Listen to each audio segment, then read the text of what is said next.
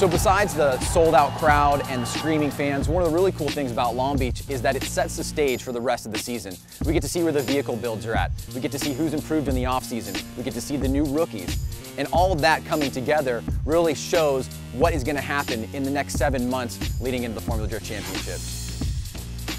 Well, Long Beach always has a, a different vibe to it. Everyone's, you know, getting back together for the first time in about six months. A lot of new cars, people checking things out. You know, you got the track over here, you got the hot pits over there, you got the start line down there. Everything is spread out and very secluded. So in order to do well here, you have to really drive it to the edge of the track, but never cross that line. And when the sun sets and the track fills up with smoke, you know, it's, it's, it's such a rush, but it, it's a perfect season opener. It's insanity out here. You know, we're like the new Group B of rally. You know, over thousand horsepower in you know 2,500 pounds cars. It's it's insanity, but that's why I love it. It's just so freaking fun.